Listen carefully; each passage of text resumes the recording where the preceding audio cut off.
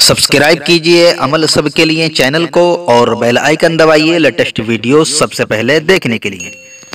असलम दोस्तों, आप देख रहे हैं हमारा चैनल अमल। सभी के लिए आज की इस वीडियो में हम बात करने वाले हैं, हर बीमारी से शिफा पाने का एक बेहतरीन ख़ास अमल। तो चलिए दोस्तों, आज की वीडियो शुरू करते हैं। अगर कोई शख्स किसी बीमारी के अंदर मुबतला है, बीमारी चाहे वो कोई सी भी हो, चाहे वो कैंसर की बीमारी हो, चाहे वो हाइबटाइटिस की बीमारी हो, चाहे वो बवासीर की बीमारी हो, अलगर्ज जिसम की कोई भी बीमारी हो अलहमदिल्ला हर बीमारी से शिफा पाने के लिए रब तबारक व का ये इसमें मुबारक बेहतरीन कामयाब है। हर बीमारी को जड़ से ख़त्म करने के लिए, क्योंकि जब तक मेरा रब नहीं चाहता, तब तक बीमारी ख़त्म नहीं होती। मगर आज जो हम रब तबारक व ताली का इसमें मुबारक है, इसमें मुबारक की बरकत से जो है इन लजीज और हमको फ़ायदा हासिल होगा अलहमदिल्ला हर तरह की बीमारी को जड़ से मिटाने के लिए, बेहतरीन कामयाब है। तो चलिए दोस्तों, अमल की तरफ़ चलते हैं। सबसे पहले मैं आपको अमल पढ़ कर सुनाता हूँ, बाद में इन अजीब इसका पूरा तरीका मैं आपको बताने वाला हूँ। तो दोस्तों, इस अमल को शुरू करने से गरीब गुरबा में सदका वगैरह ज़रूर तकसीम कर देना। घर महल्ले के छोटे बच्चों को उनके पसंद की चीज़ें ज़रूर खिला देना। दौरान अमल दोस्तों, आपका बावजूद जिसमें लिबास का पाक साफ़ होना ज़रूरी है।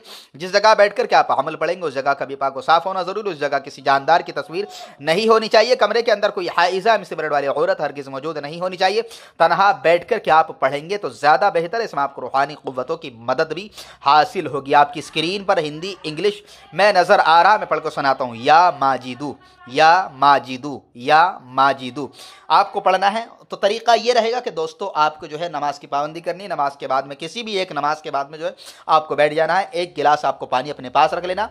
रखने के बाद में दोस्तों, आपको जो है यही अल्फाज, या माजिदू, यही इसमें मुबारक, या माजिदू या माजिदू, सिर्फ़ दस मरतबा पढ़ना। शुरू में तीन मरतबा दरू शरीफ, जो भी आपको याद है। उसके बाद में या माजिदू, टेन मरतबा, दस मरतबा आपको पढ़ना है। फिर उसके बाद में तीन मरतबा दरू शरीफ पढ़ना।